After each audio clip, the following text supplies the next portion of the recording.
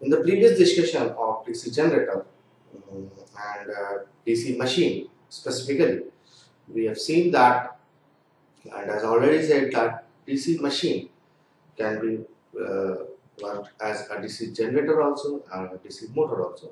So constructionally there is no difference between a DC generator and a DC motor. Again if I say that this is a machine and if I am applying some mechanical power to it and I am taking uh, electrical power this is in this way it will be known as the generator and specifically the DC generator. Now when I am giving an electrical power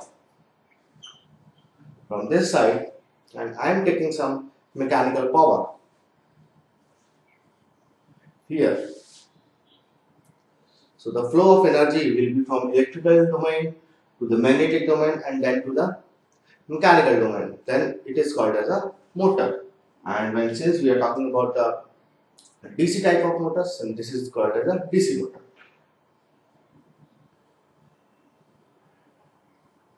So from right to left it is known as DC motor. Now coming to the principle of working of a DC motor.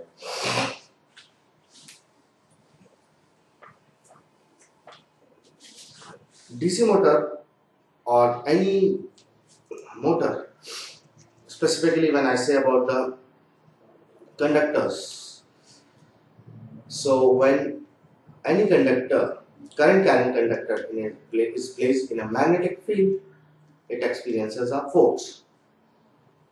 And that force is given by Fleming's left hand rule. This one such that the direction of my thumb will be give, giving me the force in which the conductor will experience the force. This index finger the direction of this index finger will be giving me the direction of the flux phi and this direction of the uh, this uh, my middle finger will be telling me the direction of the current. So whatever be the case, I'll be getting a force somewhere in some direction. So uh, in DC motors, Fleming's right hand, uh, Fleming's left hand rule works, whereas in the DC generator, Right hand rule is works. So when I come to the working, So suppose this is the uh, core again. If I am supplying some current to my conductor and it is again placed in a magnetic field suppose right now for sake of convenience let's say it is a permanent magnet so flux will be from here to here in this way. My direction of flux here is this way and suppose the current is coming out of the board so I will say the current is coming out of the board here so my conductor will be experience a force in the upward direction the force will be there in the upward direction and my motor will start working in the clockwise direction. So this is the way uh, DC motor works. Coming to one more very interesting thing which is called the back EMF and its significance.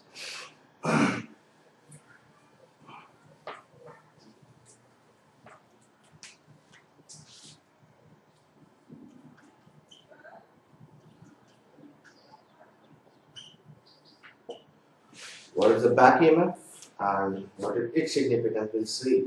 This is very important in, in, when we talk about the DC motors. What happens in any machine, we have already seen in generator that Eg is equals to Vt plus Ia Ra. Everything is known to us. Eg is the generated voltage in the case when I'm this is the case when I'm talking about the generator. Eg is equals to Vt plus Ia Ra. When in terms of motor, I'll write, I can write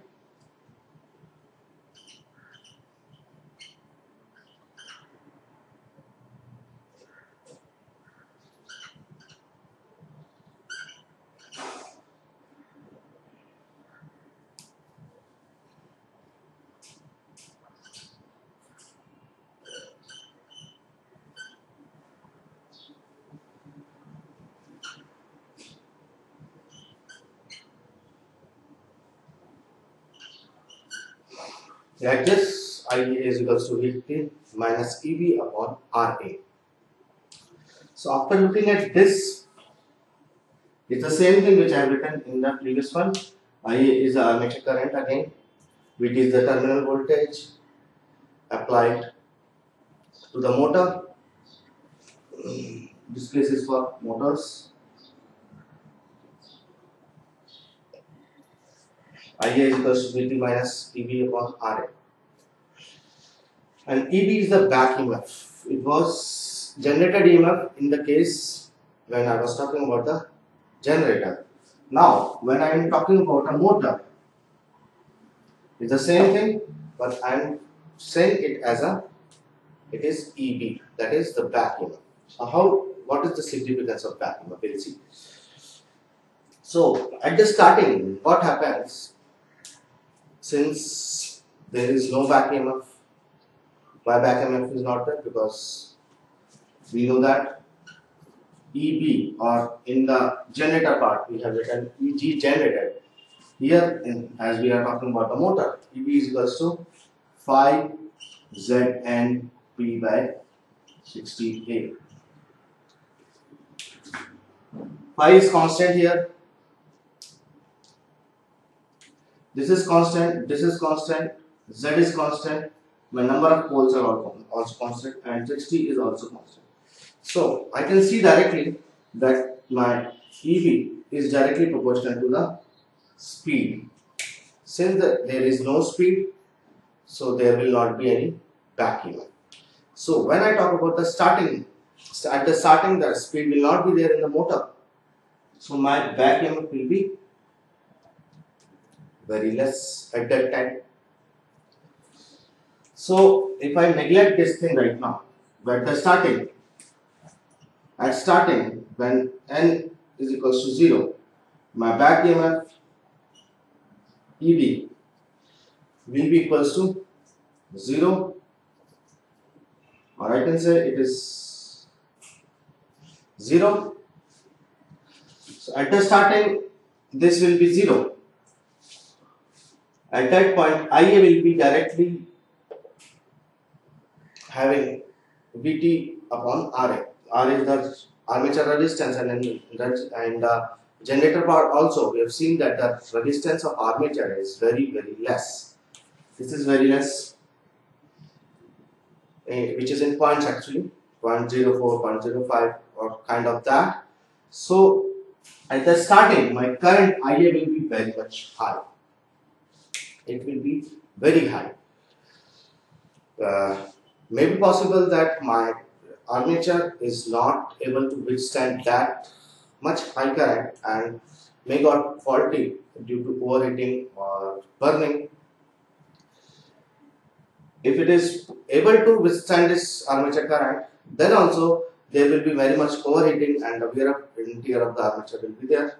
So that is not desirable. At that time when we are starting a motor, it should not get burned. Why it will get burned? Again, you can see that uh, EB, your back EMF is directly proportional to the speed of the motor. Since at the starting speed is 0, so my back EMF is also 0. So EB here will be 0. And the current at the starting will be directly limited by my resistance only, which is armature, which is very small. So this armature resistance, since it is 7 points, so my armature current will be very much high.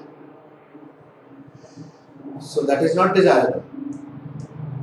When now when the motor picks up speed, is when the motor starts speeding up after some time and EB is also there and when EB starts increasing so my current will come down. At that time my current will start coming down but when the starting uh, current, uh, starting current IA will be very much high. That is not desirable. So back EMF is very much important in DC motor to have the rotation. If I want to uh, fruitful rotation, then back EMF should be there at the time when I am starting my machine.